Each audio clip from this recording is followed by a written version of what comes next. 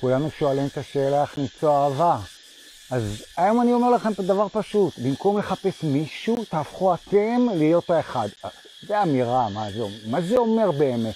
אני רוצה לתת כמה דברים, שאם אנחנו עושים, אנחנו הופכים להיות האחד והאהבה מגיעה. אז מה הם הדברים? דבר ראשון, אתה מחפש אהבה, תחפשו אהבה, לא רשימה. מה אתם באים עם רשימה ואומרים, זה כמו שבן אדם אומר, אם יהיה לי את זה, את זה, את זה, את זה ואת זה, אני אהיה מאושר. תהיה מאושר קודם כל, חפשו אהבה, לא רשימה, קחו את הרשימה, קפלו אותה, זרקו אותה לים, יש פה ים יפה, וחפשו אהבה, תחקו את הרשימה, חפשו להרגיש את מה שאתם רוצים להרגיש. אז זה דבר ראשון, חפש אהבה ולא רשימה. דבר שני, וזה כואב, כמו כל הדברים זה כואב. למה זה כואב? כי אני אוותר על הרשימה שלי, אני אוותר על מי שאני רוצה להביא לאימא. כן, זה כואב, אבל אתה מקבל אהבה, זה שווה. דבר שני, ללמוד להגיד לא ולקבל לא. זה אומר שאני יכול לחיות עם מישהו. אם אני לא יודע להגיד לא ולקבל לא, אין לי אחריות על הרגשות שלי, אני לא יכול לחיות עם אף אחד. אני לא יכול לחיות ליד מישהו, כי אני נאבד שם. להגיד לא, זה לא להגיד אני צריך ללכת, אני חייב, אני רוצה ללכת, אני הולך, פשוט אני הולך.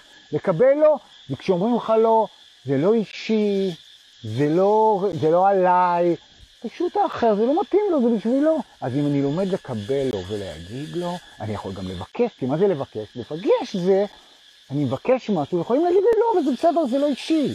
אז אני גם יכול לבקש, להגיד לו ולקבל לו, זה מאפשר לי לחיות באינטימית עם אנשים אחרים. אם אין לי את האחריות רגשות הזאת, אני לא יכול. דבר שלישי, איך אני יורד מריב? אנשים חושבים שבזוגיות רבים מעט. לא, לא רבים מעט. אפשר לריב הרבה. מה שחשוב זה לרדת, לסלוח. מה זה לסלוח? אני עדיין כועס, הם עשו לי זה, הם עשו לי זה, אני גרד. לא. רד מיד, רבת, לא משנה מה, אין מה לפתור, אין מה, כל הרביעים תמיד אותו דבר. רד מהריב, תציע לאחר סולם, שהוא יציע לך סולם, אנחנו מדברים על עצמנו, תציע לו סולם, הוא ירד בסולם, ויאללה, תלכו לשתות קפה. בואו בואו נשתה קפה, יאללה, בסדר, בואו נשחק קפה, יאללה, סבבה, תרדו מהריב. זה קוראים לזה לצלוח. לסלוח זה להשאיר את העבר מאחור. בואו נשאיר את העבר מאחור ונוכל לחיות ביחד בסבבה. דבר הבא, דבר השלישי זה לשחרר ולא להאחז.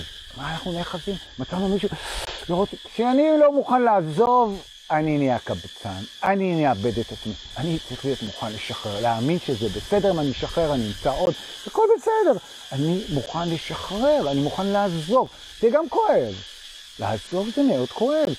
כשאתה צריך לחכות, כשאתה חושב שתקבל משהו מהמם, אתה לא רוצה לעזוב כי אתה רוצה לקבל את זה, אז זה כואב לשחרר, אבל כשאתה משחרר, אתה נותן לעצמך את עצמי. אני מוכן לוותר, מה יקרה? לא יקרה שום דבר. אני אגיד לכם מה יקרה, נעבור לדבר הבא. אני אהיה לבד. אני צריך ללמוד להיות מסוגל להיות לבד.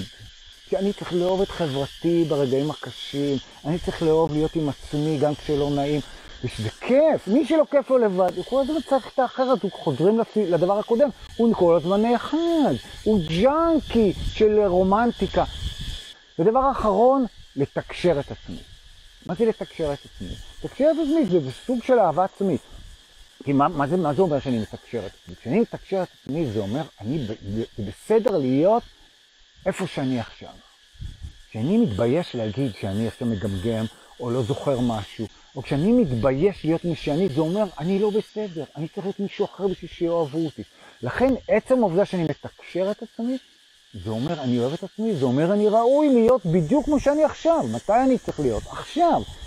לתקשר את עצמי זה קשה, כי תמיד נראה לנו שלא יקבלו אותנו, לא יאהבו אותנו, לא ירצו אותנו מי אנחנו. זה תירוץ.